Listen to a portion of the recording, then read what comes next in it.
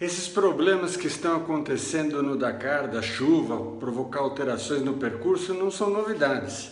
Comecei o Dakar em 88, já senti na pele muito desses problemas, ah, às vezes não tanto pela chuva, quando era no deserto, mas já teve problemas lá. Inclusive em 92 sofremos com a chuva no rally eh, Paris-Cidade do Cabo, quando nós estávamos atravessando Angola numa etapa, uma chuva torrencial, um rio seco virou um rio profundo, a moto do Peterrâncio, Peterrâncio na época corria de moto, acabou ficando uh, debaixo d'água, nós competidores tivemos que correr lá, arrancar a moto dele, um desvio enorme de mil quilômetros eh, tivemos que fazer, sem conhecer, sem mapa, meio na boca, sem ter ninguém para perguntar, de noite, frio, falta de comida, tudo de bom, tudo de bom, né? E nesse ano foi um dos anos que eh, eh, teve uma das alterações mais complicadas do Dakar. Rally Paris Cidade do Cabo, quando chegamos no Chad, uh, eu vinha numa classificação muito boa, na época corria de moto, estava em terceiro na maratona, um resultado excelente.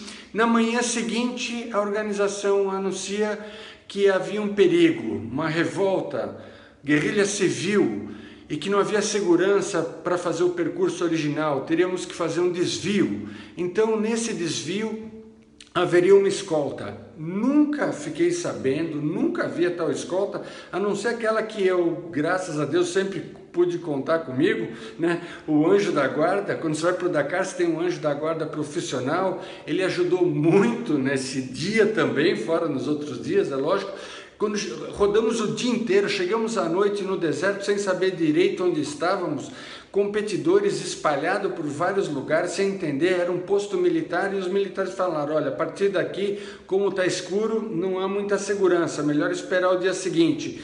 O organizador, o pai do Thierry Sabine na época, o Gilberto Sabine, pelo rádio já estava lá de helicóptero falou: não, vocês têm que vir, é seguro, sem nem conhecer o que estava acontecendo. Alguns competidores se atiraram, se arriscaram.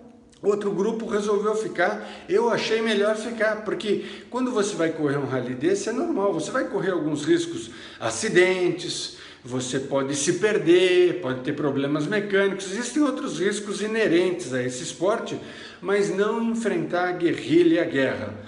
Como não percorri esse percurso à noite, no, na manhã seguinte nós todos partimos, chegamos no acampamento, fomos recebidos com uma penalização de 24 horas. Meu resultado foi para o espaço, consegui pelo menos recuperar